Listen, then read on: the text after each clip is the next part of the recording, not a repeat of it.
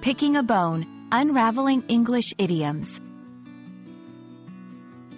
Hello and welcome, language enthusiasts.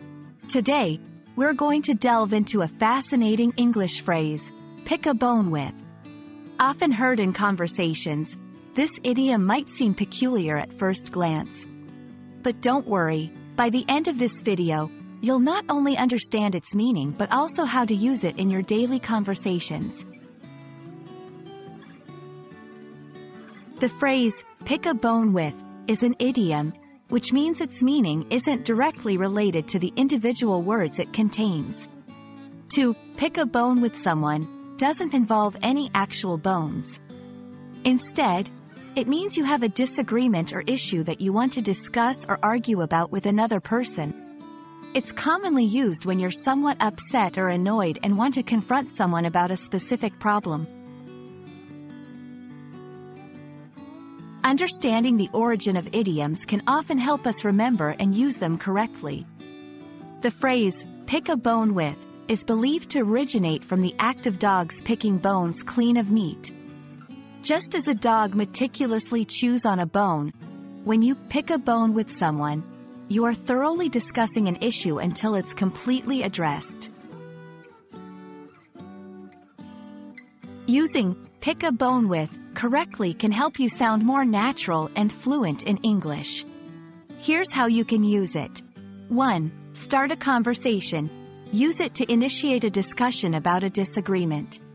For example, Hey, can I talk to you for a minute? I have to pick a bone with you about the meeting yesterday. 2. Express discontent. When you're not happy about something and you want to express your dissatisfaction. For example, I need to pick a bone with you about how you've been using my car without asking. Remember, while it's a common idiom, it's best used in informal settings among friends or colleagues you're familiar with. While pick a bone with is widely understood, there are variations you might hear as well. Have a bone to pick with someone. This is another common way to express the same idea. For example, she has a bone to pick with you about yesterday's incident. Bone of contention. This phrase is slightly different and refers to the specific subject or issue that two or more people are arguing about. For example, the property line has been a bone of contention between the neighbors for years. Now you're ready to use pick a bone with like a native. Remember, idioms are a fun and engaging part of language learning and can really help you sound more fluent. I hope this video helps you feel more confident in your English speaking journey. Keep practicing. And don't hesitate to pick a bone with any doubts you may have.